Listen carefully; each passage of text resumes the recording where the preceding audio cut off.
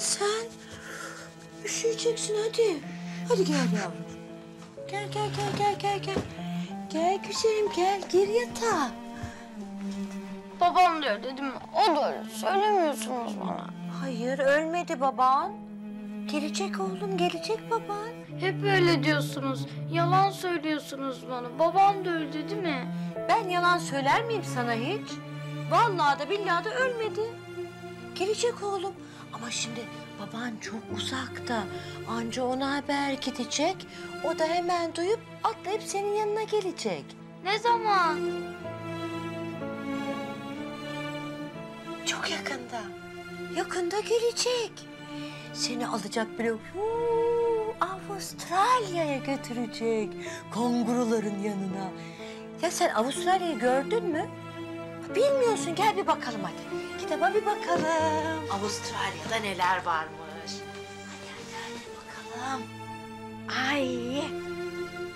Çabuk gelsin ne olur. Çok özledim ben onu. Ay. Canım benim. Ben kıyamam ben sana. Hiç kıyamam. Versin alsın beni Meryem abla. Olacak yavrum. Gelecek. Gelecek.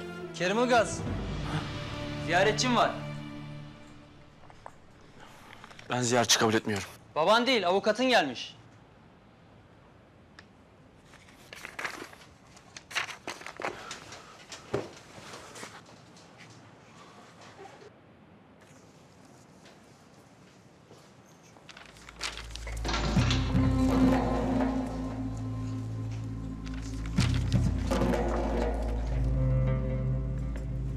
Abi ne yapıyorsun sen? Bir de bize laf söyler. Başkasının mektubu okunur mu be? Ayıp değil mi? Bir şey yazmamış zaten. İyi de abi bu yaptığını mazur gösterir mi? Kes be. Aynen söyleyeceğim abi Kerim'e.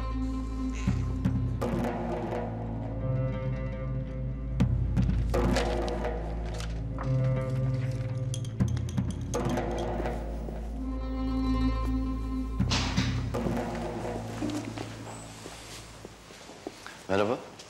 Merhaba. Ne bu surat? Hasta mısın? Bir şey mi oldu? Yok. Yok bir şey yok. Sana iyi bir haberim var. Hadi yüzün gülsün biraz. Senin lehine tanıklık edecek biri çıktı. Ne diyorsun? Seni olay yerinden ayrılırken görmüş. O sırada Vural'ın sağ olduğuna dair ifade verdi bu. Kim kim görmüş? Hacer Ovacı.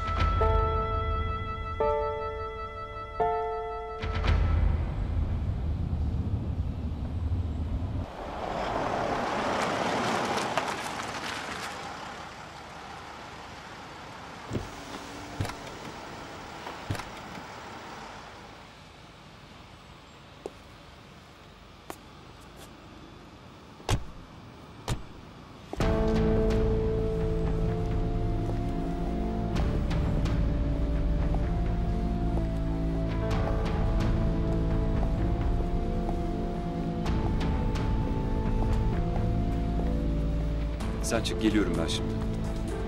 Neden? Ne oldu? Çık geleceğim.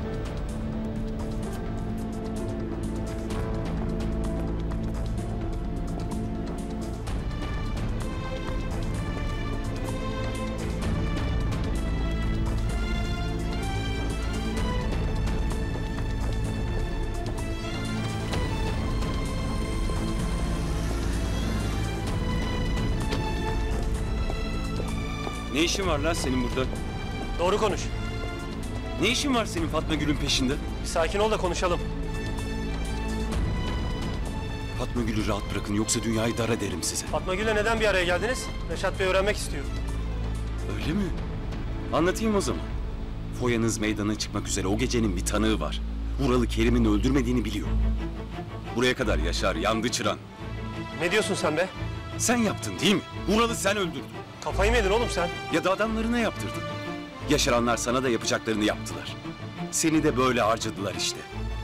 Hapislerde çürüyeceksin. Uçmuşsun oğlum sen. Suçu Kerim'e yıkarak yırtacaklarını zannettiler değil mi? Yaşaranlar Vural'ın er geç konuşacağını biliyordu. En büyük korkuları da buydu. Susturdular onu. Ortadan kaldırdılar ama bak hiçbir şey gizli kalmadı. Her şey ortaya çıktı. Git aynen böyle onlara yakında Kerim'in çıkacağını, onların oyununun bozulduğunu söyle. Mustafa! Cezalarını çekecekler. Böyle söyle, o kadar.